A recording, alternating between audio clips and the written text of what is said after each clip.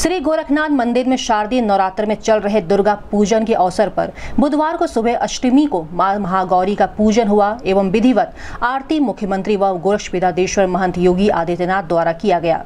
गोरक्षपितादेश्वर महंत योगी आदित्यनाथ महाराज द्वारा गौरी गणेश, वरुण, पीठ पूजन, यंत्र पूजन, स्थापित माँ दुर्गा की विधिवत पूजन, भगवान राम लक्ष्मण सीता का पूजन, भगवान कृष्ण एवं गौमाता का पूजन नौ गृह पूजन, शस्त्र पूजन, द्वादश ज्योतिर्लिंग, अर्ध नारीश्वर एवं शिव भक्ति पूजन, वटुक भैरव, काल भैरव, त्रिशूल पर्वत पूजन, दुर्गा सप्तशती के पाठ एवं वैदिक मंत्रों के साथ हुआ।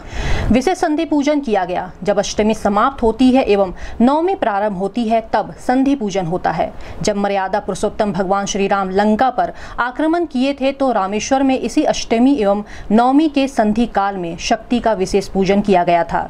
तभी से इस संधि काल में विशेष पूजन होता है।